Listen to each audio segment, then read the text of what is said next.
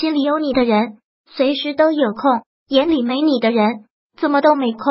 在乎你的人，离开你一分钟都嫌长；不在乎你的人，陪着你半秒钟都浪费。一个人若在乎你，永远不会嫌弃你，即使你不漂亮、不优秀、不富足，在他心里你就是完美。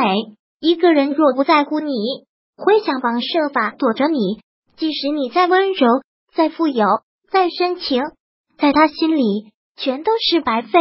一个在乎你的人，绝对不会忙到忘记你，接到你的电话窃喜，看到你的信息秒回，不管多忙，不管多累。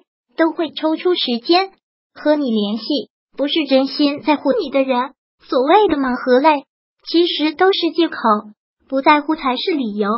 不管多忙多累，都不要对关心你的人发火，都不要把在乎你的人冷落。人一辈子能认识很多人，但是真正对你好的人屈指可数。因为一辈子能遇到这样一个人，实属不易，是你的福气。这样的人才是你一辈子该珍惜的人。不在乎你的人，陪着你半秒钟都浪费；想请你吃饭的人，不怕花钱；想蹭你饭吃的人，总忙带钱；爱你的人，想给你最好的；骗你的人，想要你最好的。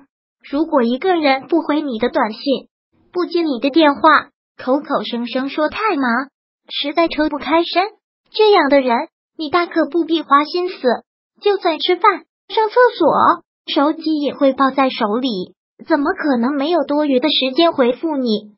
一个在乎你的人，绝对不会忙到忘记你，接到你的电话窃喜，看到你的信息秒回，不管多忙，不管多累，都会抽出时间和你联系，问问你有没有睡好，关心你有没有吃饭。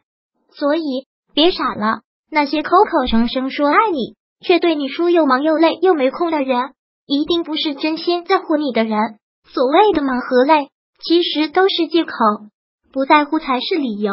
因为真正在乎你的人，从来都不忙；真正对你好的人，随时都有空；真正心里有你的，在他有空的时候，会给你一个短信，问候一下你在干什么，或者告诉你他在干什么。让你知道他的动态，既关心你了，而且也做到了在哪都给你说一下，免得你很担心。真正心里有你的，会在你不知道的时候就关注了你的朋友圈、你的圈、你的一切，了解了你周围的朋友。这样，他不仅仅知道你什么时候心情不好了，能够去安慰你，也展现了他对你的在乎，能够为了你。去接触他不曾接触的人或物，真正心里有你的人会放下他认为的面子，不会和你在大街上大吵一架，即使是自己不对的，也会和你沟通，心平气和的；即使很生气，也会说几句，不会脸红脖子粗的给你吵架。如果他心里真的有你，他关注的不是你的，而是你的世界；他读的不是文字，而是你的心情。是对你的关注，评论是对你的在乎。好的感情，交的是心，聊的是情，无所谓距离，无所谓世界。即使天各一方，牵挂一直都在。如果他真的心疼你，他会处处为你着想，舍不得你花钱。电话总是挂断再打过来，生怕你熬夜，晚上总是催你早点休息。你病了，总是焦急的再三询问。你烦了。耐心的一直劝慰你累了，体贴的不再打扰。如果喜欢本视频，请分享并订阅本频道，别忘了按赞哦。